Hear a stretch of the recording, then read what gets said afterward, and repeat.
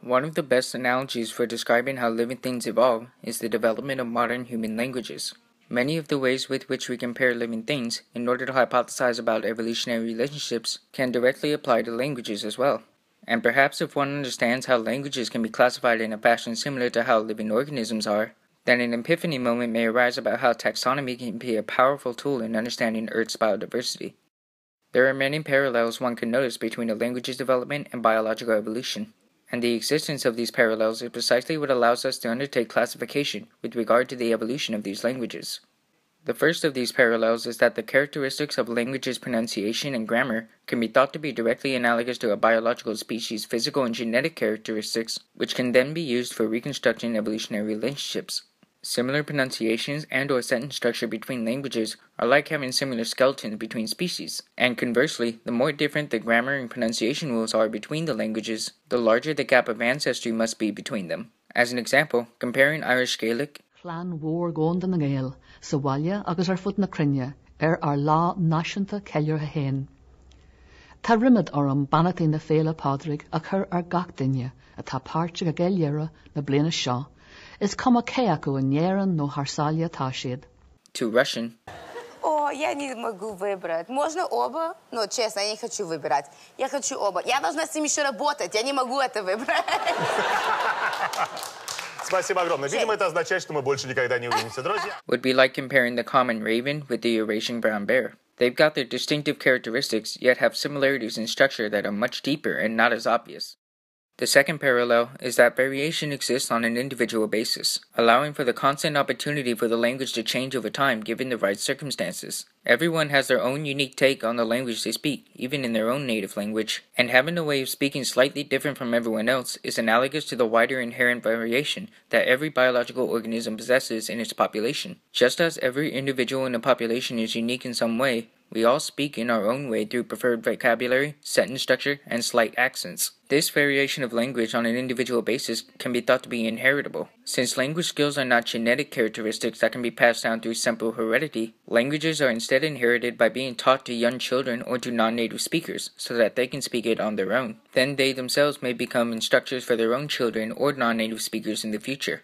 As a result of both intrinsic variation and inheritance occurring to a language, one should then naturally conclude that over time, as children and non native speakers get a better hold of a language and form their own take on it, the language itself gets altered in tiny ways that may then result in new ways of using that language, through inventing new words and slang, new acceptable pronunciations, new idioms, new metaphors, etc. This is just like how genetic mutations in every individual of a species can gradually and incrementally change a species' gene pool over time to result in new characteristics and adaptations. However, since both biological species and languages are not drastically changing every day or every generation, we can notice that there's a form of natural selection keeping these changes in check. Just as the surrounding creatures and climate keep a species' gene pool from changing in every which way, grammar rules and social connotations for words tend to keep languages from easily breaking off into infinitely different directions. Just as biological species do, languages can go through a sort of genetic drift when an ancestral stock splits into two or more isolated groups, causing the rules and regulations of language used in the ancestral language to no longer apply and keep linguistic changes from building up in the new daughter groups. To first form an accent, then a dialect, up until the daughter language changes sufficiently to lose what is called mutual intelligibility, the ability for their respective speakers to understand each other. At the point where two different ways of speaking completely lose the ability to make sense of each other, they both ought to be considered completely different languages. This rule of using mutual intelligibility to gauge the closeness of two or more ways of speaking is directly analogous to how genetic closeness can gauge the closeness of two or more different populations of biological organisms. In the same way that biological taxonomists use species as a distinct unit that are then combined to form larger groupings, we can use languages to build nested hierarchies that might represent their evolution through time. A good example of this phenomenon of mutual intelligibility would be if we looked at the main languages of the three mainland Scandinavian countries, Denmark, Sweden, and Norway. We're all familiar with the fact that these countries mainly speak the Northern Germanic languages of Danish, Swedish, and Bokmål Norwegian, respectively, save for the many regional dialects, looking at you, Norway. But it turns out that these three tend to have a high degree of mutual intelligibility among each other, aside from some vocabulary changes and pronunciation differences. Their similarities can be noticeable even if we don't speak it ourselves. Det kan enten være sådan noget om, hvor ofte vi bløder, hvor mange liter vi bløder ud, Måske ikke liter, jeg mener mængde. Hvis I bløder en hel liter ud, når I har menstruation, så skal I omgående søge læge. Eller ej, se lige den her video færdig først. Smid et like, følg mig på Instagram, og så ring efter lægen. Og hvis I også lige kan få lægen til at følge mig på Instagram, nu jeg er i gang, så får vi faktisk slået virkelig mange fluer med et smæk. Sven, vad har vi gjort?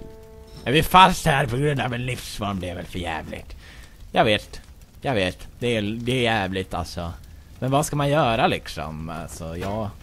Jag, jag försöker ändå. Vi har varit tillsammans länge du och jag, Pudi. Och nu kan inte vi ens lämna det här rummet. Ja, ja, det håller ju inte ihop liksom. Nu måste vi hitta en nyckel. Okej Sven. Men var är nyckeln? Var är nyckeln? Här stol, vet du vad nyckeln är? I don't, I don't know Pidi. I, I'm sorry. I don't have the key. I promise. Hey! Oil! do we have a key here? I mean, jävla nyckelfanskap. Kan du vara någonstans? Kan du vara under den här sängen? Nix. Kan du vara under den här saken där? Nix pix. Ja, en tårnebåne! Fan vad trevligt. En tårnebåne. Alright. Da starter vi! Så hur har dagen din varit? Dagen min har varit super. Ja, vad har du gjort? Jag har varit på jobb med alla de små barnen. Oh. Och vi har lagat lussekatter. Wow! Ja, väldigt koselig. Ja. Vad har du gjort idag då, Karin? Oh, jag har också varit på jobb. Jag har, eh, jag har lagat juleträ. Har du lagat juleträ? Ja, av papp. Och så har vi limat och klippt av. Alla barnen har varit flinka. Oh, har du varit flink òg? Jag har varit väldigt flink. Det er veldig bra. Mm, og så slapp jeg å være ute, for det var dårlig vær. Ja, ja, jeg slapp å være ute i Å, dag. så deilig! Så fantastisk. Ja. These three languages are so similar, probably due to the close history all three countries share, that they say that Norwegian is Danish spoken in Swedish. This brings up a question. If someone speaking Norwegian can understand a good portion of what someone says in Swedish or Danish without necessarily needing formal learning classes, should they really be considered separate and distinct languages, or could they just be far removed dialects of some common Scandinavian language? Maybe this triforce of the mainland Northern Germanic languages are in some sort of gray area, stuck in a transition stage of a common language splitting into distinct languages, while not quite fully so yet, unlike Faroese or Icelandic. This is directly analogous to how biological species can be thought to be once they start splitting from their ancestral stock, growing more and more genetically distinct over time, to the point where they can no longer breed with their ancestral population, becoming a new distinct population free to express new and characteristics. Danish, Norwegian, and Swedish might be considered as close in ancestry as the elk, red deer, and sika deer, among other possible comparisons. It's for this reason also why estimates for the total number of languages are not directly obvious, and can vary depending on how exactly one defines a language to be, leading to the lingual equivalent to what's called the species problem, which refers to how the term species can be hard to define depending on what exactly keeps one population from breeding with another. That's a topic for another time, but one of the factors that contribute to the ambiguity of species is this last parallel. This last parallel between how languages evolve and how living organisms evolve is the equivalent of horizontal gene transfer. Horizontal gene transfer is the ability for usually prokaryotic organisms to share genetic material with each other regardless of their ancestral history. This is a caveat of biology that does keep cladistics from being completely reliable when it comes to prokaryotic populations. There are no biologists who dismiss the tree of life with regard to animals and possibly another one for plants. I've argued myself that the tree of life is more the shape of a tumbleweed. But importantly, whether bush or weed or tree, it grows out of a web because single celled organisms are far more prone to horizontal gene transfer. Microbes can, on occasion, pass their genes to other organisms on contact by a few different means. This makes taxonomic classification at the microbial level very confused because there isn't a single lineage, but very often several interconnected ones. Horizontal gene transfer happens in multicellular organisms too. 8% of the human genome came from viruses. But it's more difficult with multicellular organisms for obvious reasons. So the tree of life is still a verifiable fact of life. Languages can have their own form of horizontal gene transfer simply by using and modifying loanwords from other languages far removed from their close relatives. And just as this phenomenon tends to keep cladistics from dominating the classification scheme of all living organisms, it also keeps languages from being proverbial islands and only being products of their ancestral states varying and splitting over time. English is a perfect example with its influence from Latin, Greek, Old Norman, and Old Norse. Despite originating from the West Germanic language of the Anglo Saxon tribes, it gained words from all of these other languages just as a bacterium might gain new genetic material from another bacterium that isn't necessarily its close relative. All of these are many of the major parallels that exist between biological evolution and language evolution, and recognizing these commonalities helps us to really get the full gist of how easily recognizable the effects of evolutionary principles can be. With such parallels existing between bioevolution and language evolution, their corresponding classification systems use similar methods like cladistics, and as a result, the evolution of these language families can be traced through time just as the evolution of biological population can be traced through time. Where ancient writings of the extinct languages in the written record can often serve as analogs for the ancient remains of extinct creatures in the fossil record. And just like the fossil record, the written record only goes back so far before evidence disappears completely, leaving only speculative hypotheses to answer some deeper questions, like does all of human language spring from some common ancestral language, like a proto human language? Just as speculative is the effect globalization will have on current languages in the future. Will all regularly spoken languages eventually coalesce into one language as South Park portrayed?